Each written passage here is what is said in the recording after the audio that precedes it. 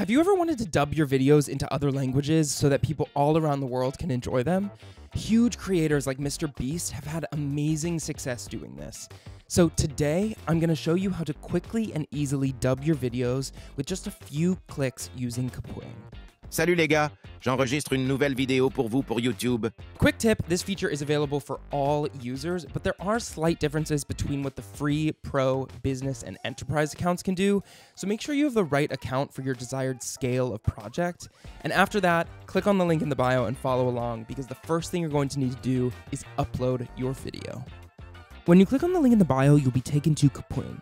Click here from there, you can upload the video you want to dub directly from your device or pull it from a URL link.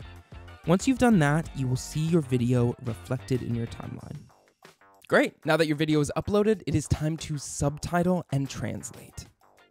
On the left-hand side of the editor, you will see the Subtitle tab. Click it, and then click Auto Subtitles.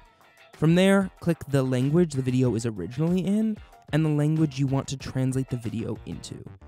Then click Auto Subtitle. It will get to work subtitling and translating your video, and when it's done, you will see everything that is said written out in your new language. Now it's time to take those subtitles and start voice dubbing. Right above the subtitles, you will see an icon for voice dubbing.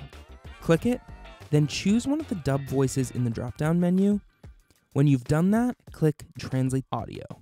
It will start to dub your audio, replacing your old audio with your new language dub. C'est tellement excitant et je suis euh, heureux de l'être.